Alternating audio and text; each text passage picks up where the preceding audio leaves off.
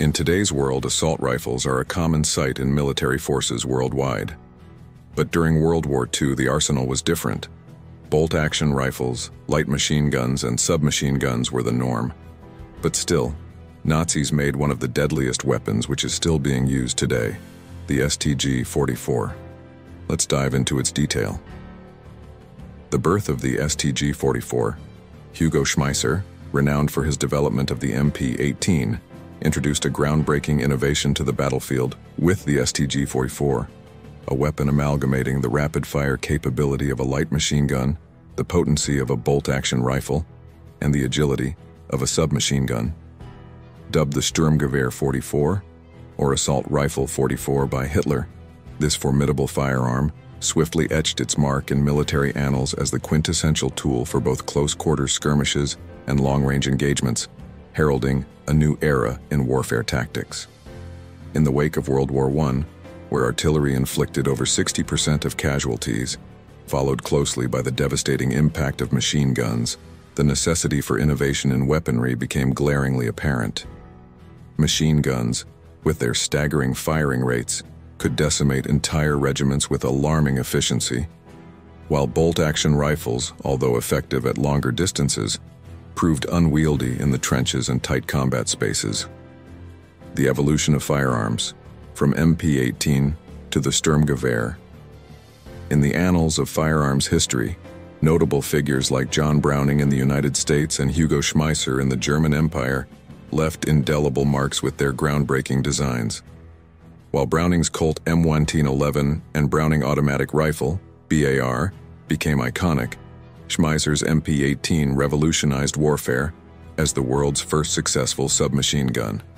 Recognizing the limitations of 7.92 millimeter rifles for trench warfare, Schmeisser engineered the MP-18 to prioritize maneuverability and recoil, favoring 9 millimeter pistol caliber rounds. Weighing 9 pounds and equipped with a side-mounted snail drum magazine, the MP-18 quickly earned favor among stormtroopers tasked with seizing enemy trenches.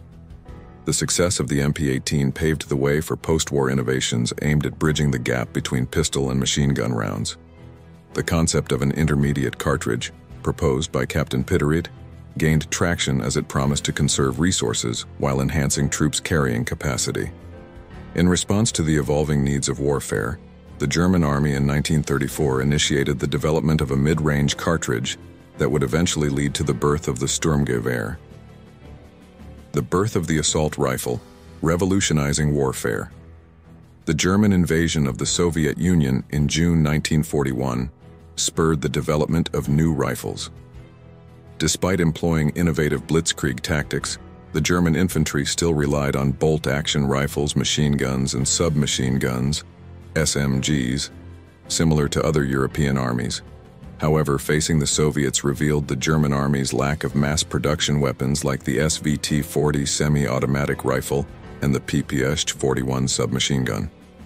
This deficiency became more pronounced in 1942 when the United States entered the war, equipping its soldiers with automatic rifles like the BAR, the M1 Garand, and the M1A1 carbine. To counter this, the FG-42 or Paratrooper Rifle 42 was introduced, primarily for the elite Fallschirmjägers. Although designed for paratroopers, it paved the way for the Gewehr 43 or Karabiner 43, which provided the army with a competitor against the SVT-40 on the Eastern Front. However, Hitler, upon learning of the MKB-42 program, ordered its halt, fearing strain on the munition industry and logistical challenges. To circumvent this, the Heereswaffenamt renamed the rifle machine Pistole 43 or MP43, deceiving Hitler into believing it was an upgraded SMG. When Hitler witnessed the rifle's performance, he was so impressed that he suggested naming it the Sturmgewehr, or Assault Rifle, thus birthing a new class of weaponry. The impact of the STG-44 in World War II.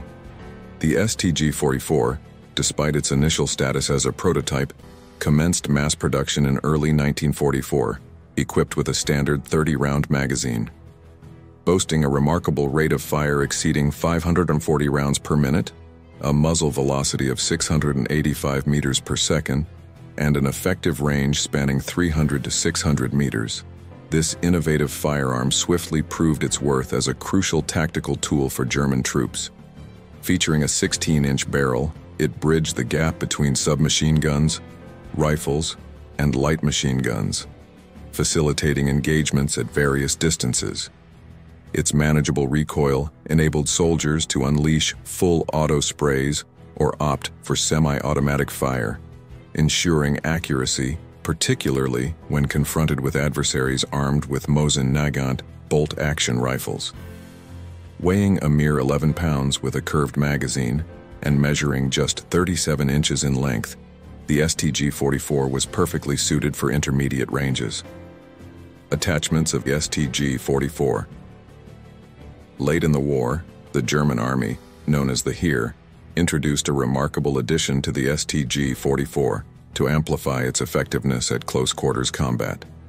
This addition was the Krummlauf, a specialized curved barrel equipped with a periscope, enabling soldiers to shoot around corners without exposing themselves to enemy fire.